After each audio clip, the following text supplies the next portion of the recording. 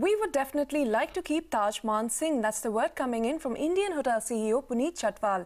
In an exclusive conversation with CNBC TV 18's Kritika Saxena, he said that the company will surely bid for Taj Mansingh and that it is an iconic asset for them. He added that they will definitely look at acquisitions if they strategically fit into the company's portfolio. Listen in. Has already talked about how important Taj Mansingh is going to be for Indian hotels. A, are you going to definitely be bidding as and when NDMC does end up auctioning this?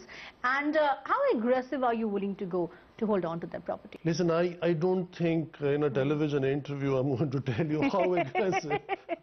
Uh, but definitely, uh, we would like to keep Taj Mansingh. It's not only a pride for Taj, it's the pride of the nation. Mm. And everybody, especially mm. who has grown up in Delhi, like I have, has mm. grown up with Mansingh. So you do want to keep that in the portfolio? You will be bidding for this?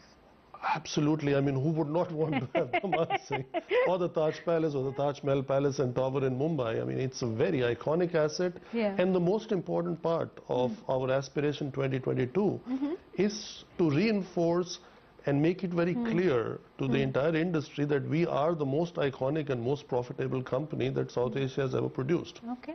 so enough. how can we let our icons go away? How critical will acquisitions be? And, and, I want to get your comment on one specific buzz that I heard. Uh, Cidade de Goa is something that is reportedly being wooed by Taj. Uh, is that uh, on the anvil? Um, news to me, uh, but it's uh, it, it. I don't think uh, specific name matters, but. Okay.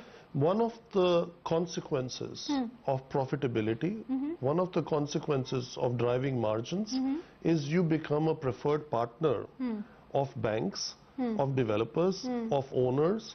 Hmm. And I do believe that over the next three to six months, we hmm. will be offered opportunities which we hmm. were not offered maybe a year or two years ago.